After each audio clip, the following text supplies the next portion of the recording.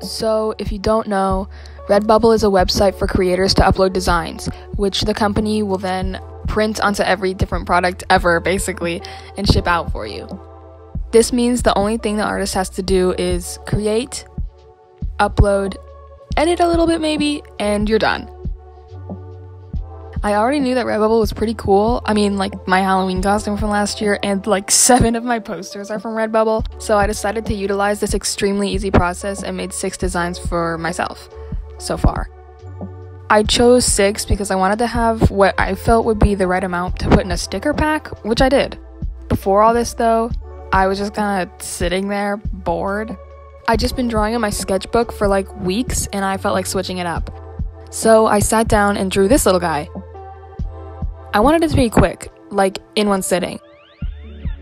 I didn't worry too much about making super clean line art. I didn't worry too much about rendering it out super realistic, you know.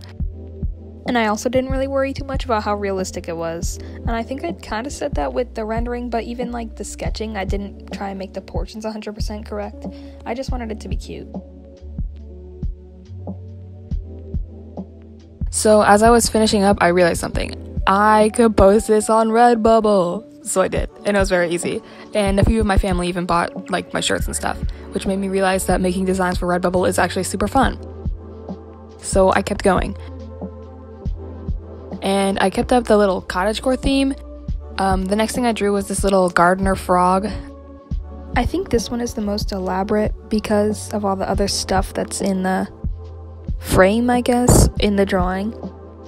Uh, other than the main little guy, like uh, all the tomatoes in the watering cans and the, even the little what is that like a shovel i don't know but yeah i just all all the other ones don't like have objects associated with them, but I wanted this one to look like a little farmer, so I put a lot of stuff.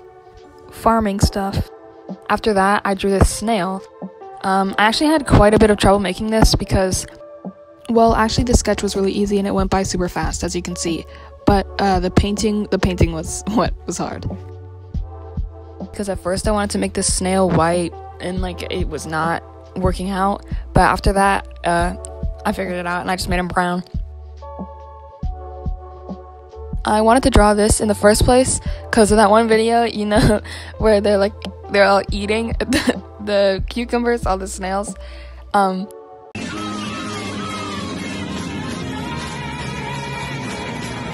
after that, I drew this little chick. This one is simultaneously the most realistic and my least favorite, not gonna lie, but I don't know if there's a correlation there.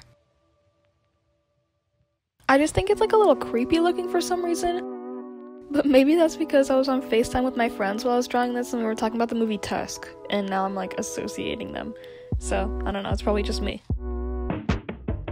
After that, I drew what I think is actually my favorite out of all of them this little lamb. I just really like the colors that I used for this one. Something about, like, I don't know, something about the whole cottagecore color palette is like one of my favorite color palettes literally just of all time. I just like colors a lot. I love art. I love that this is my hobby. You know what? I'm just going on a tangent right now, but can I just say that for once and for all? Like, this is like the most fun hobby ever.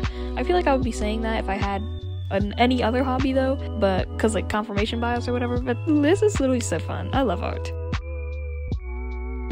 And finally, I drew this little duck wearing a hat. This one was the fastest to make by far. Oh my gosh, I sat down, boom, I was done. It was so fast. And it was super easy to color in because it was just feather color, beak color, and, or I guess bill color, and hat color. If you want to make your own designs, just do it. It's so fun. You just gotta remember to set it on a transparent background so your design isn't just on like a white square when you upload it. Also, to make sticker packs, because I didn't know this, all you gotta do is just put a bunch of designs on the same canvas, and Redbubble will split them up for you if they're uh, far enough apart. I had enough designs to make a sticker pack, so I finally decided to post about it on my Instagram, TikTok, Twitter, and uh, here. Cottagecore is just a really cute aesthetic, and I like it a lot. So I wanted to make a little pack of designs that reflected that. Now, though, it's time to get spooky.